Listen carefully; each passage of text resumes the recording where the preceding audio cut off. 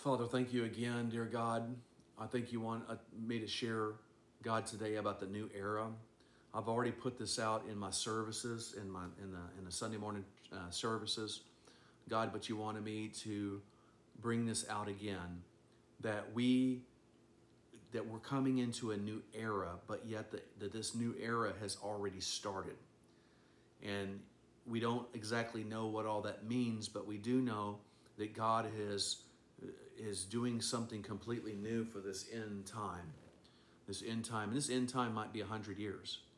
You know, we don't we don't know, but the bottom line is is God's bringing God's bringing things to pass in our lifetime. That's out that's outstanding.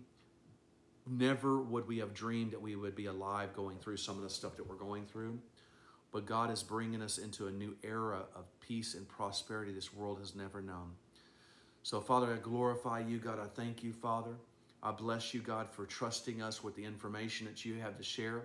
Thank you that we can talk to your people, dear God, that's out there over the airwaves. You talked to you told my ministry, our church, to do something completely different and to go take the airwaves that we can re- reach more people online than we can in person. That's just what you've asked us to do. God, and you've, you're changing everything for us to be able to go and to minister your word over the airwaves to everybody that will hear. It might be that one little nugget of truth that, that changes a person's life, or it may be a whole bunch of stuff that changes a person's life.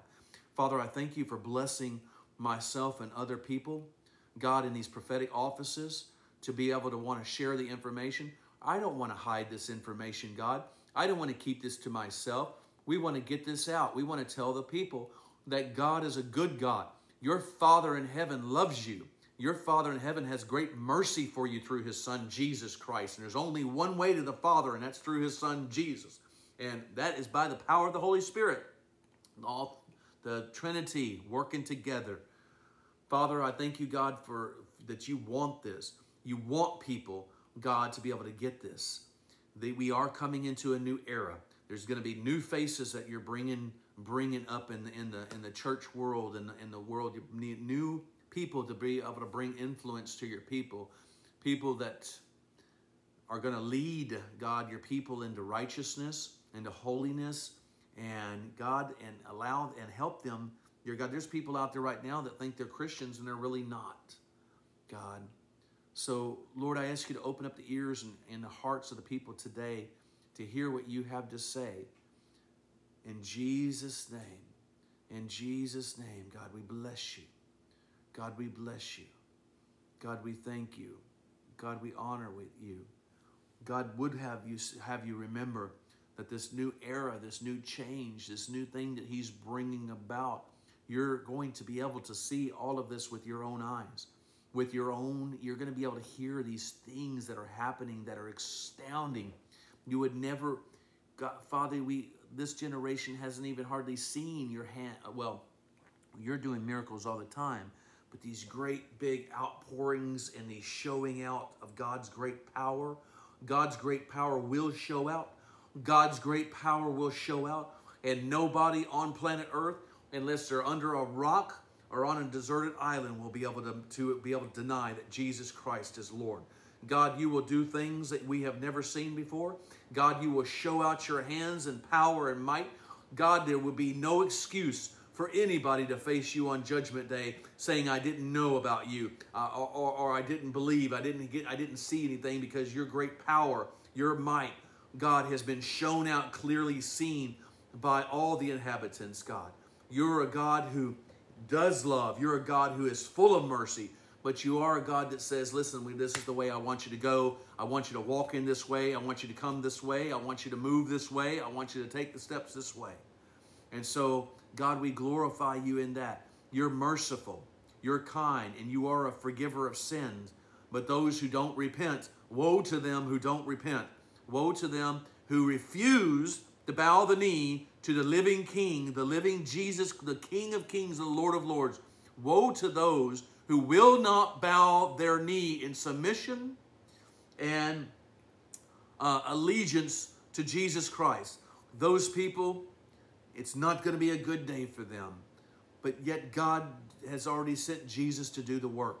The work has been finished. Salvation has been accomplished. All these things have been done by Jesus Christ, and He is awaiting to award anybody and everybody who wants to bow the knee to Jesus Christ as Lord. Every single person. And no, you do not have to know everything there is to know about the Bible before you can call upon the name of the Lord. It's a heart thing with you to say, you know what? I may not know everything about Jesus, but I do believe that Jesus Christ is Lord because God said He was. I do believe Jesus Christ died on the cross because God said He did. I do believe that Jesus Christ was raised to life again, is now seated at the right hand of the Father because God's Word says it is. And that's why we believe. And so, God, I thank you for this time, dear God, that you're allowing us to go through. For those who for those who are submitted, to those who are yielded to God, your best days are ahead of you. You have no idea the, the sheer joy and the peace that God has for you. Like in the days of captivity of the Israelites over in Egypt, it was plagues and darkness and all kinds of stuff going on all over Egypt except for Goshen, where the Hebrews lived.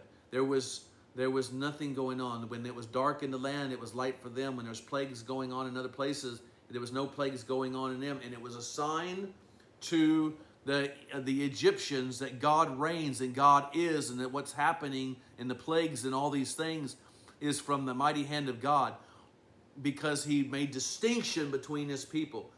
God does make distinction between his people. If you are a genuine born again believer, who is living for the Lord. I don't mean that you're perfect, but I do mean that you you are careful and you are walking it out and you're trying to do right and you're trying to be thoughtful. Listen, you're you don't have anything to fear. God got you. He has assigned his angels to keep you. He has given them uh, charge over you. And you talking about a release of miracles, the release of miracles into your life. I'm talking about release in every place in health, in finances, everything you can imagine of favor with God, that comes your way. God is going to recompense. If, if the evil are recompensed on the earth, how much more? Or if the righteous are recompensed on the earth, then how much more the wicked? You are going to see some things, and I've already seen things, Father, in this last week here. I've seen your hand move in ways financially for us, you know. And it's no, it's not a big. It, we're not talking a but you did it for us. You're doing something mighty in our in our lives.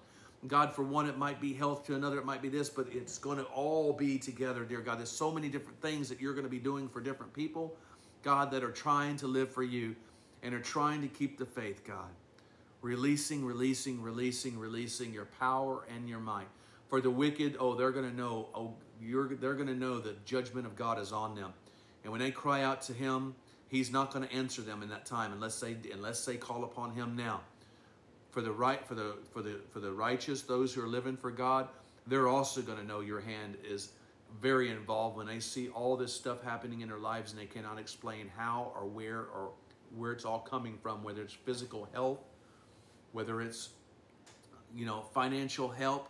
Maybe they've been struggling and all of a sudden your favor touches their life and new job offers, new uh, new things are going to happen for them. You're, there is going to be a lot of this almost unexplainable, but we know it's you. That's the thing. We know it's you. God, I speak over the people of America. God, I speak over every man, woman, and child in America. In Jesus' name, Jesus Christ is King. Jesus Christ is Lord. All power in heaven and on earth have been given. All power of rule, too, has been given to Jesus Christ. He is the Lord. He is the King. He is Master, and He is not leaving us in this condition. He is not leaving us as orphans. He is not leaving us without help. He is not leaving us without defense. That you, if you are a born again believer, trusting in, living for God, I don't mean you said a prayer, but you're going off living like a, a, a wicked heathen sinner.